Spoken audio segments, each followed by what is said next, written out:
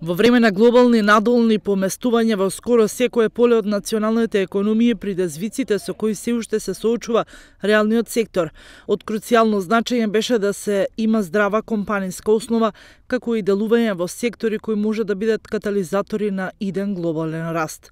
Во Струмица, изгледа на време неколку компании ги увиделе потенцијалите и соодветно одговориле на предизвиците, при тоа исплаќајќи плати на вработените кои се две или три пати поголеми од просекот во државата.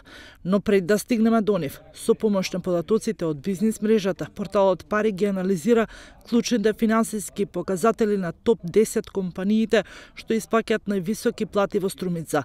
Далеку напред пред своите конкуренти се две компании, Жикол и Металопромет.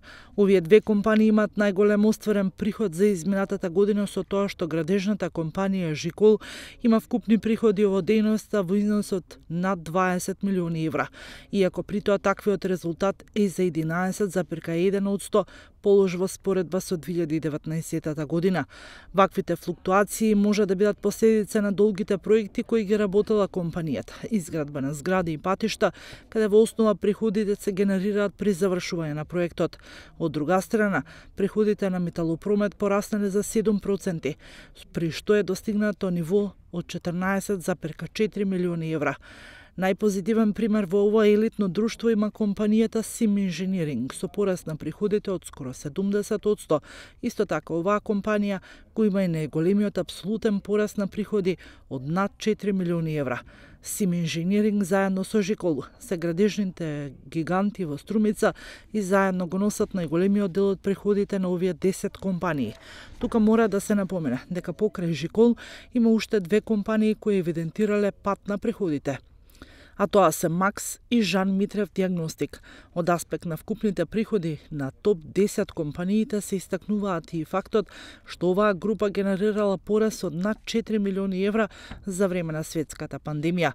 Од аспект на остварена добивка, бројките и не се така импресивни. Единствено две компании оствариле добивка од 1 милион евра, Жикол и инженеринг, додека кај останатите компании бројките се поскромни. Во оваа група, две компании кои евидентирале понизок финансиски резултат во споредба со 2019 година, тука се вбројуваат Огражден АД со пат на добивката од 27% и Макс со 22 полош резултат, повеќе од трикратно зголемување или пораз на 364% кај вкупната добивка остварила компанијата Портланд ОПЦ. Música